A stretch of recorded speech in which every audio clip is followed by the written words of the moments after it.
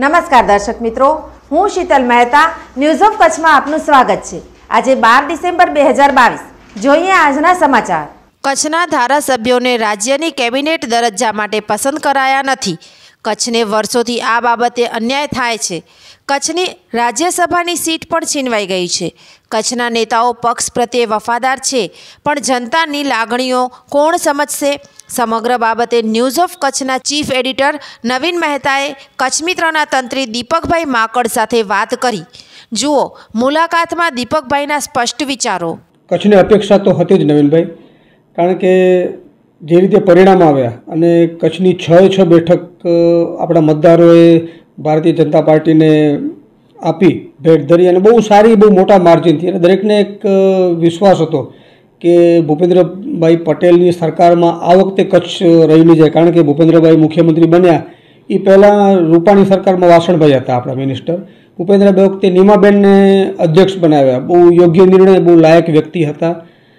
એટલે મંત્રીપદની આપણે ચાલો મન મનાવ્યું, પણ હવે એમ હતું કે ના, કચ્છને મંત્રીપદ મળશે અને કેબિનેટ મંત્રીપદ.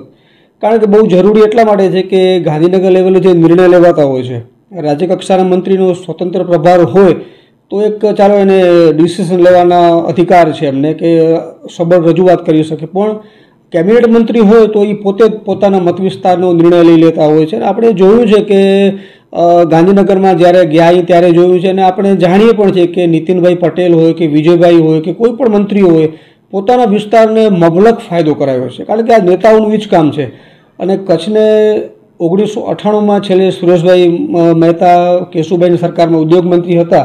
એ પછી કચ્છને કેબિનેટમાં મંત્રીપદ મળ્યું જ નથી.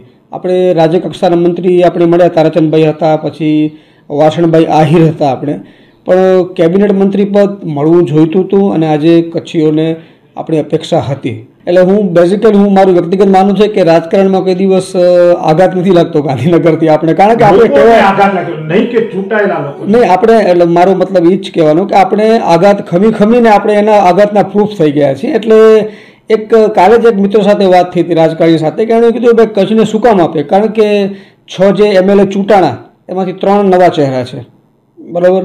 અને બાકી જે ત્રણ છે એમાં પ્રદ્યુમનસિંહ છે એ ત્રીજી વખત ધારાસભ્ય બન્યા. પણ એમનો એક શિક્ષણનો મુદ્દો આવે છે. કારણ કે બેઝિક શિક્ષણ એમનું બહુ ઓછું છે. છતાં બહુ ઘડાયેલા નેતા છે, કસાયેલા નેતા છે એ ના નહીં થઈ શકે.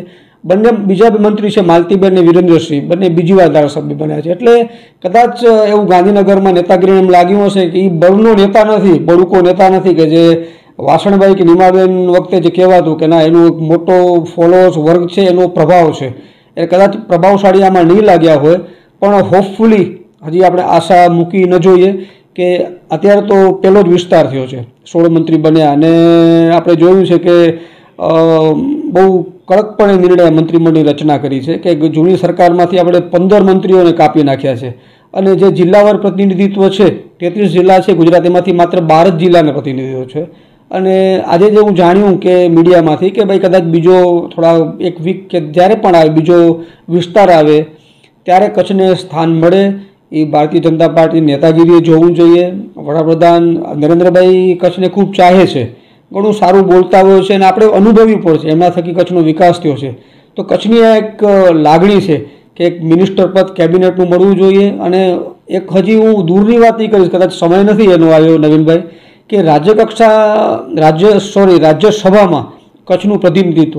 કારણ કે કચ્છનું જે કચ્છની જે રચના થઈ જે વિભાજન થયું ને આપણે મુંબઈમાંથી છૂટા પડ્યા અને ગુજરાતમાં પડ્યા એ પછીના પહેલાં ત્રણ વર્ષ સુધી કચ્છની એક એક લોકસભાની બેઠક અને એક રાજ્યસભાની. કારણ કે આપણે જાણીએ છીએ કે રાજ્ય જેટલો જિલ્લો છે સૌથી મોટો જિલ્લો અને એ હેન્ડલ કરવો એકમાત્ર એમપીથી એ ચાલો થતું હશે આજે ભલે જમાનો થોડોક બદલાણો છે પણ કચ્છનું અધિકાર બને છે, કચ્છની જે વિશેષતા છે, જે ભૌગોલિક અને સરહદી જિલ્લો છે, તો રાજ્ય રાજ્યસભામાં પણ કચ્છનું, જ્યારે પણ સમય આવે ત્યારે કચ્છનું સ્થાન એ ભૂલવું ન જોઈએ. એવું કચ્છીઓની દરેકની એવી લાગણી. એ લાગણી સાચી, પણ આપણે જે ગાંધીનગરમાં જે બનતું જોયું છે કે સૌથી જેનો જેનો દંડો વધુ વાગે, એના ઉપર વધુ ધ્યાન દેવાતું હોય છે. અને આપણે હંમેશા આપણે ફીલ કર્યું છે કે આપણે માત્ર છ ધારાસભ્યો છે. ભલે આ વખતે છાયો છે ભાજપના છે પણ કચ્છની એટલી જે ઘણના થવી જોઈએ એવી ત્યાં ગાંધીનગરમાં એટલો અવાજ બળુકો અવાજ આપણો પહોંચ્યો નથી. એટલે આજની આ થયું તો સોનામાં સુગંધ ભળત પણ બીજી બીજી મુદતમાં થશે તો પણ કચ્છ માટે એનો આનંદ તો આપણે હશે જ.